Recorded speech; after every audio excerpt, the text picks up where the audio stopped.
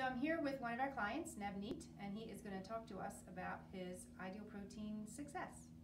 Hi, Navneet. Hello, Judy. How are you? Good. How are you? I'm doing well. Good. Excited. Very good. So tell us, when did you start the diet?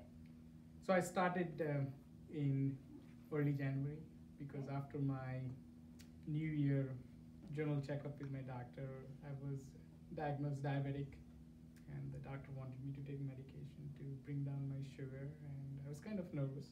Mm-hmm. I didn't. I didn't want medication, so I was like, okay, let's try something else. I had Mhm. been exercising a lot, but still, that didn't help with my sugar or with my body weight. So Right. I came down to Figure Savers and attended. I think the workshop was on 20th, I believe, 19th to 20th of January. Okay, January 20th or so. Yep. So around that time, and immediately signed up and uh, started the program. Okay, good. Yep. Awesome. And how much weight did you lose? So I started at 191, and uh, in three months I was down to 155. Very So good. Close Awesome. to 36 pounds. Very good. And that was your goal weight? It was my goal weight, yes. Okay, great. Mhm. Excellent. And so, um, you want to tell us a little bit about your experience? Like, how did you find doing the diet? You know, did you have challenges? Did you have victories? Sure.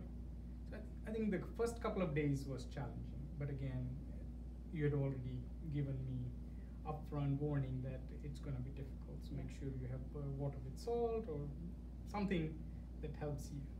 So I think after that, uh, making sure that I'm writing down what I'm eating and getting the right things because I, I had taped the list that I was allowed to eat the food items. I taped it a couple of places in my house. So Your phase one sheet? yeah, everything I'm eating, I make sure that Uh, Very good. it's on on there, and I tried new things which I would not have tried. Right. Right. So, just eating the greens, the salads, and things like that.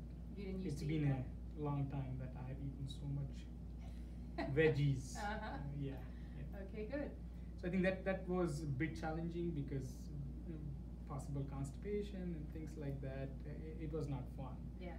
Uh, because even if you drink a lot of water, I think body wants more, and Mhm. you're just feeding it very limited food. So I think the first week I would say it was challenging. Yeah. But then you start uh, seeing some changes, positive changes, and it's like, uh, okay, let's keep moving, let's Mhm. keep going.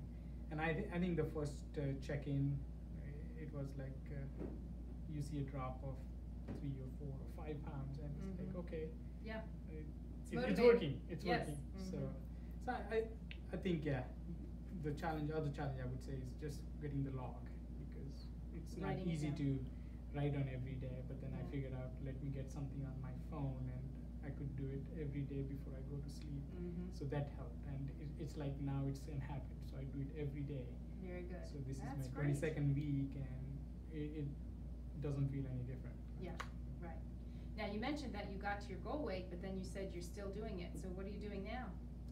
So now I want to keep it at that level. I don't want to Right, go back to my 191 pounds or my sugar. So now I'm no longer diabetic, no medication. So I don't want to go back to that. So Right. I want to keep it stable, right? So and I'm sure there will be days where I will eat more than what I'm supposed to eat or eat things that I'm not supposed to eat. So I think having that check that okay I have to go for my check-in in Right. two weeks or a week I, I think that keeps that uh, that check which I want to keep it that way. I'm, I'm sure if I do it for a couple more years then Yeah, it is something that will live with me exactly. forever. Exactly. So you are doing the 12 month stabilization? I program. am, yes. Right, very good. And so you're required to journal Yes. for that, yeah. And I think it's very true what you're saying.